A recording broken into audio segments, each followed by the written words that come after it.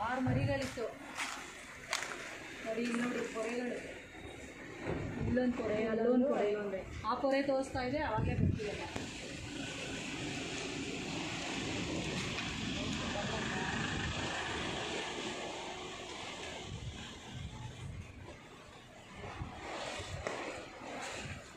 ಎಲ್ಲ ಈಗ ಬಂದಿರೋ ಮರಿಗಳು ಮೊಟ್ಟೆಯಿಂದ.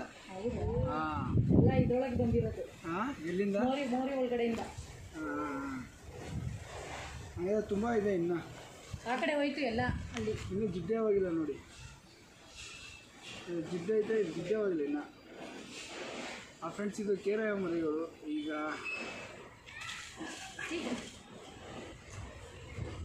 ಈಗಷ್ಟು ಒಂದು ಅರ್ಧ ಮುಕ್ಕಾಲು ಗಂಟೆ ಒನ್ ಅವರ್ ಒಳಗೆ ಮೊಟ್ಟೆಯಿಂದ ಆಚೆ ಬಂದಿರ್ಬೋದು ಇದು. ಇದು ಇಂಡಿಯನ್ ರ್ಯಾಟ್ಸ್ನೇ ಕೇಳ್ತಾರೆ. ಇದನ್ನು ಕೇರೆ ಹಾವು ಕೂಡ ಹೇಳ್ತಾರೆ ಇದನ್ನ. ನೋಡೋಣ, ಇನ್ನೂ ಹುಡ್ಕೋ ಟ್ರೈ ಮಾಡ್ತೀನಿ. ಮತ್ತು ಇದನ್ನೆಲ್ಲಾದರೂ ಒಂದು ಒಳ್ಳೆ ಜಾಗಕ್ಕೆ, ಒಳ್ಳೆ ಪರಿಸರ ಪ್ಲೇಸ್ ಮಾಡೋಣ ಜಯ ಇದು ಎಷ್ಟು, ಇಲ್ಲೇ, ಒಂದೇ ಕಡೆ ಇದ್ವಾ? ಫ್ರೆಂಡ್ಸ್ ಎಲ್ಲರಿಗೂ ಜಯ ಆಂಜನೇಯ. ಇದು ಇಂಡಿಯನ್ ರ್ಯಾಟ್ಸ್ನೇಕು ಬೇಬಿ ಅಂದರೆ ಇವತ್ತು ಮೊಟ್ಟೆಯಿಂದ ಬಂದಿರೋವಂಥ ಹಾವು ಇದು. ಅಲ್ಲಿ ಸುಮಾರು ಹಾವುಗಳು ಇದ್ವಂತೆ. ಆದರೆ ನಾನು ಹೋಗಿದ್ದ ಟೈಮಿಗೆ ಅಲ್ಲಿದ್ದಂಥ ಹಾವು ಇದೊಂದೇ ಒಂದು ನಾಲ್ಕು ಹಾವುಗಳು ಅಲ್ಲಿಂದ ಹೊರಟ್ಬಿಟ್ಟಿದ್ದಾವೆ ನಾವು ಸ್ವಲ್ಪ ಬಂದು ಅಲ್ಲಿ ಚೆಕ್ ಮಾಡ್ದೆ ಆದರೂ ಚೆಕ್ ಮಾಡ್ದೆ ಅಲ್ಲಿ ಸಿಗಲಿಲ್ಲ ನಮಗೆ ಹಾವುಗಳು. ಇದೊಂದೇ ಸಿಕ್ಕಿತ್ತು. ಆದರೂ ತುಂಬ ಸರ್ಚ್ ಮಾಡಿದೆ ಸಿಗಲಿಲ್ಲ. ಅದರಿಂದ ಇದನ್ನೇ ಸಂರಕ್ಷಣೆ ಮಾಡಿ ಒಂದು ಒಳ್ಳೆಯ ಫಾರೆಸ್ಟಿಗೆ ಇದಕ್ಕೆ ಆದಂಥ ಜಾಗಕ್ಕೆ ತಗೊಂಡು ಬಂದಿದ್ದೀವಿ. ಇದನ್ನು ಬಿಡೋಣ ಅಂತ. ಇದು ರೆಸ್ಕ್ಯೂ ಮಾಡಿರೋದು. ವಿಜಯನಗರ ಕಾಳಿಕಮ್ಮ ದೇವಸ್ಥಾನ ಮುಂಭಾಗದಲ್ಲಿ ಒಂದು ಮನೆ ಹತ್ತಿರ, ಕಾಂಪೌಂಡ್ ಹತ್ತಿರ. ಇದು ಸರಿ, ಈ ಬೇಬಿನ ಇಲ್ಲೇ ರಿಲೀಸ್ ಮಾಡೋಣ. ಬನ್ನಿ.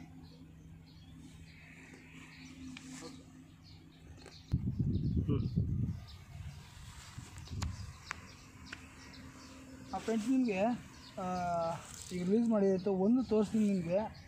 ಈ ಕಾಡುಗಳಲ್ಲಿ ಈ ಹಸು ಮೇಯ್ಸೋಕ್ಕೆ ಅದು ಮೇಯ್ಸೋಕ್ಕೆ ಅಂತ ಬೇರೆ ಕಾಲಲ್ಲಿ ಬರ್ತಾರೆ. ಇಲ್ಲಿ ನಿಮಗೆ ಏನೋ ಒಂದು ತೋರಿಸ್ತೀನಿ ಬನ್ನಿ ಇಲ್ಲಿ.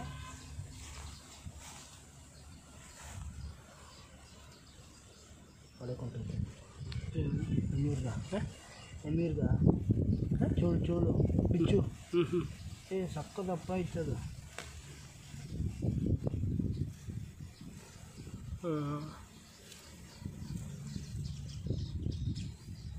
ಇಲ್ಲಿ. ಇರಿ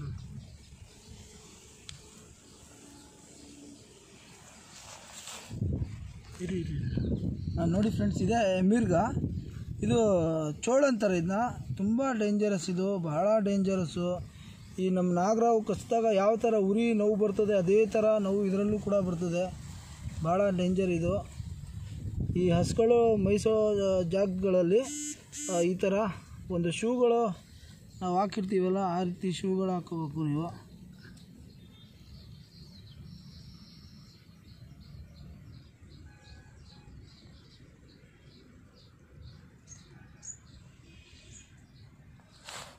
ನೋಡಿ, ಇಲ್ಲೇ ಮುಳ್ಳಿದೆ. ಯಾವ ರೀತಿ ಮುಳ್ಳಿದೆ ನೋಡಿ ಇಲ್ಲಿ. ಇದೆ ಪಾಯ್ಸನ್ ಇದು. ಝೂಮ್ ಮಾಡೋಂಗೆ ಸ್ವಲ್ಪ. ಹಾಗೆ, ಅದಂಗೆ ಇರಲಿ. ಎಷ್ಟು ಇದರಲ್ಲಿ ಪಾಯ್ಸನ್ ಇರುತ್ತಂದರೆ ಭಾರಿ ಡೇಂಜರ್ ಇದು. ತುಂಬ ಡೇಂಜರು ನೋಡ್ಬೋದು ನೀವು. ನೋಡಿ. ಇದೇ ಎಮಿರ್ಗ. ಈ ಹಸುಗಳು ಮೇಯಿಸ್ತಾ ಇರ್ತೀರಾ? ಮತ್ತು ಏನನ್ನ ಒಂದು ಟ್ರೆಕ್ಕಿಂಗ್ಗೆ ಅಂತ ಬರ್ತೀರಾ? ಚಪ್ಪಲಿ ಕೂಡ ಬರ್ತೀರಾ ನೀವು? ಚಪ್ಪಲಿಲಿ ಬಂದಾಗ ನಿಮ್ಮ ಬೆಳ್ಳು ಕೂಡ ಒಡೆಯೋ ಸಾಧ್ಯತೆಗಳು ಇರ್ತವೆ. ಸ್ವಲ್ಪ ಬಂದಾಗ ಹುಷಾರಾಗೆ ಇರಿ. ನೋಡಿ, ತುಂಬ ಸ್ವಲ್ಪ ಸೈಲೆಂಟ್ ಆಯಿತು. ಹಾಂ, ಯಾವ ರೀತಿ ಇದೆ ಅಂತ ಬಹಳ ಡೇಂಜರ್ ಇದು ಮಾತ್ರ. ಕಚ್ಚಿದಾಗ ತುಂಬ ಉರಿಯುತ್ತೆ, ತುಂಬ ನೋವುತ್ತೆ ಜೀವ ಹೋಗೋ ಥರ ಆಯ್ತಾ ಇರುತ್ತೆ. ನಾವು ಆ ಟೈಮಲ್ಲಿ ಏನು ಮಾಡಬೇಕು ಅಂತ ಇದಕ್ಕೆ ಒಂದು ಮೆಡಿಷನ್ ಕೂಡ ಹೇಳ್ತೀನಿ ನಾನು. ಈ ನಮ್ಮ ಬೆಂಕಿಪಟ್ಟಣ ನಾವು ಯಾವಾಗಲೂ ಯೂಸ್ ಮಾಡ್ತಾ ಇರ್ತೀವಿ. ಆ ಬೆಂಕಿಪಟ್ಟಣ ಒಂದು ಹತ್ತು ಮದ್ದು ಎತ್ಕೋಬೇಕು. ಹತ್ತು ಮದ್ದು ಕಿತ್ತಾಕೋಬೇಕು ಕಡ್ಡಿಯಿಂದ. ಕಿತ್ತಾಕಿ ಕೈ ಮೇಲೆ ಹಾಕೊಂಡು ಒಂದು ಎರಡು ಹನಿ ನೀರು ಹಾಕೊಂಡು ಚೆನ್ನಾಗೆ ಅದನ್ನು ಉಂಡೆ ಥರ ಮಾಡಿಬಿಟ್ಟು ಎಲ್ಲೇ ನಮಗೆ ಬೈಟ್ ಮಾಡಿ ಕಚ್ಚಿರ್ತದೆ ಆ ಜಾಗದಲ್ಲಿ ಅದನ್ನ ಇಕ್ಕಿದಾಗ ಹತ್ತು ಸೆಕೆಂಡು ಅಲ್ಲಿ ಉರಿ ಫುಲ್ಲು ಕಡಿಮೆ ಆಗೋದನ್ನ ಪಾಯ್ಸನ್ ಕೂಡ ಎಳ್ಕೊಬಿಡುತ್ತೆ. ಆ ರೀತಿ ಮಾಡಿಬಿಟ್ಟು ನೀವು ಆರಾಮಾಗಿರ್ಬೋದು ಕೆಲವರು ಇದು ಕಚ್ಚಿದಾಗೂ ಎಷ್ಟೋ ಜನ ಹೆದರ್ಕೊಂಡು ಸತ್ತೋಗೋರು ಇದ್ದಾರೆ ಆದರೆ ನಾನು ಹೇಳೋದೇನೆಂದರೆ ಹಸ್ಕೊಂಡು ಮೇಯಿಸ್ತೀರಲ್ವ? ಚಪ್ಪಲಿ ಕಾಲೆಲ್ಲ ಬರೋಕ್ಕೆ ಹೋಗ್ಬಿಡಿ. ಈ ಶೂಗಳು ಹಾಕ್ಕೊಳ್ಳಿ ಆರಾಮಾಗಿ. ಹಸ್ಗಳನ್ನ ಮೇಯಿಸ್ಕೊಂಡು ಹೋಗಿ. ನಿಮ್ಗಾದಂಥ ನಾನು ನಿಮ್ಗೆ ಹೆಲ್ಪ್ ಆಗಲಿ ಅಂತ ಹೇಳ್ತಾ ಇದ್ದೀನಿ. ನಿಮಗೋಸ್ಕರ ನಮ್ಮ ರೈತರಿಗೋಸ್ಕರ. ಸರಿ, ಇದನ್ನು ಕೂಡ ಇಲ್ಲೇ ರಿಲೀಸ್ ಮಾಡಿಬಿಡ್ತೀನಿ. ಬನ್ನಿ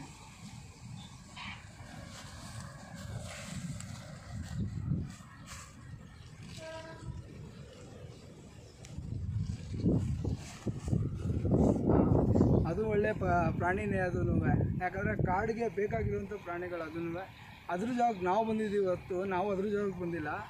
ಅದಕ್ಕೆ ಅದನ್ನು ಇಲ್ಲೇ ರಿಲೀಸ್ ಮಾಡಿಬಿಟ್ಟಿದ್ದೀನಿ. ಮತ್ತು ಫ್ರೆಂಡ್ಸ್ ಎಲ್ಲರಿಗೂ ಈ ವಿಡಿಯೋ ಇಷ್ಟ ಆಗಿದೆ ಲೈಕ್ ಮಾಡಿ ಕಮೆಂಟ್ ಮಾಡಿ ಶೇರ್ ಮಾಡಿ.